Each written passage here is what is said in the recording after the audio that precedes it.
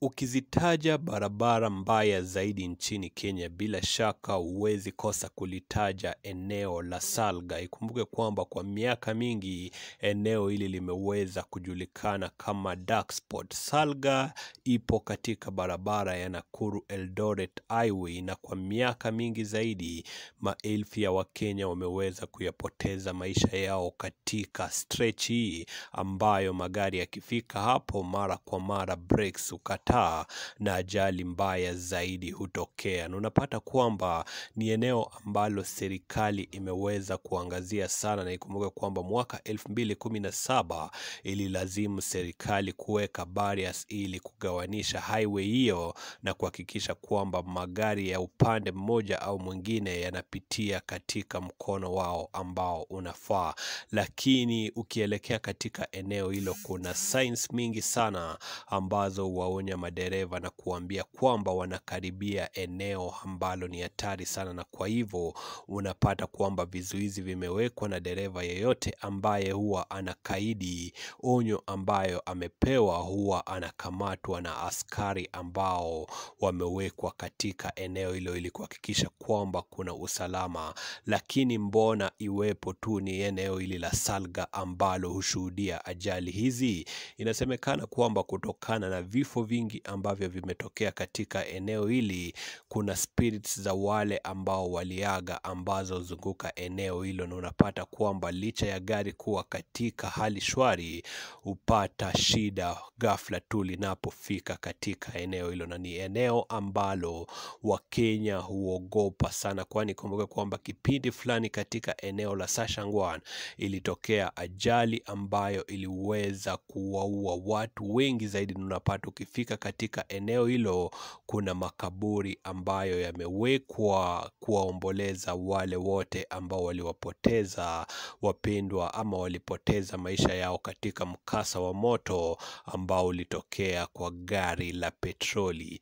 Na unapata pia eneo hili la Salga, kando na kuwa ni eneo la ajali sana, pia linaripotiwa kuwa ni eneo ambalo linaongoza katika visa vya ukaaba. Ikumbuke kwamba madereva wa trela hupaki katika eneo hili ili kupumzika baada ya masafa marefu, na unapata kwamba kuna wanadada ambao wameweza kugundua biashara katika eneo hili, na pia vilevile vile unapata kwamba wanadada hujiuza kwa sana ili kukidhi mahitaji yao katika madereva hawa wa matrela, na suala hili limeweza kuchangia pakubwa zaidi kuongezeka katika maswala la gonjwa la ukimwi katika eneo la Salga na kuliweka katika baadhi ya maeneo ambayo yapo na rates kubwa za watu ambao wameambukizwa ukimwi. Kando na swala la prostitution, vilevile vile, kuna maswala kama maswala ya matumizi ya madawa ya kulevya. Unapata kwamba pombe na bangi katika eneo hili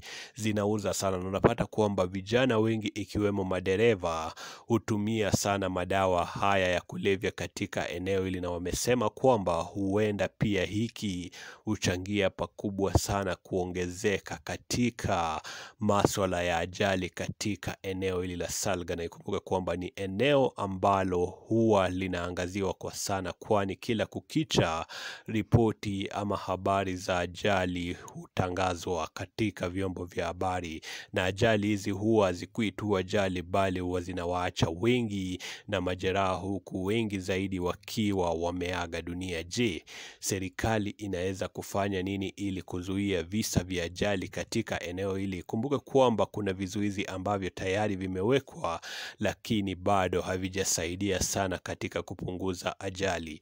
Kuna askari ambao wamewekwa barabarani, lakini pia vilevile vile kutokana na au kuchukua rushwa, unapata kwamba bado huwaachia madereva ambao huendesha magari kwa kasi zaidi. Na sasa swali kwa Wakenya ni je, kipi kifanywe ili kuhakikisha kwamba eneo hili lipo salama? Maombi pia vilevile yameweza kufanywa katika eneo hili na baadhi ya dini, na unapata kwamba hakuna chochote kile ambacho kinabadilika. Kwa hivyo hivyo ni mikakati tu kuwekwa ili kuhakikisha kwamba kuna rules ambazo mtu yeyote hazikaidi, na kwa hivyo wewe kama mtamazaji ama mtazamaji wa Vic Dimples una ruhusa ya kutoa maoni yako ukiweka kwamba ni kipi kifanywe ili kuhakikisha kwamba ajali zinapungua katika eneo hili la Salga. Tunaendelea kufuatilia visa kama hivi, na bila shaka ndani ya Vic Dimples utakuwa unapata ujio mwingi zaidi. Unachohitaji ni kusubscribe kwenye channel yetu ili uwe wa kwanza kuzipokea taarifa pindi tunavyozi upload, na bila shaka hapa ndani ya Vic Dimples tunafuatilia maeneo yote yale hatari nchini Kenya, na bila shaka tunakujuza ili wewe kama dereva kila wakati unapoendesha katika maeneo haya unakuwa makini. Kumbuka kwamba katika episode ambayo ilipita tuliangazia eneo la Kamatira. Leo hii tumeangazia eneo la Salga. Je, ungetamani eneo lipi lingine lifuate?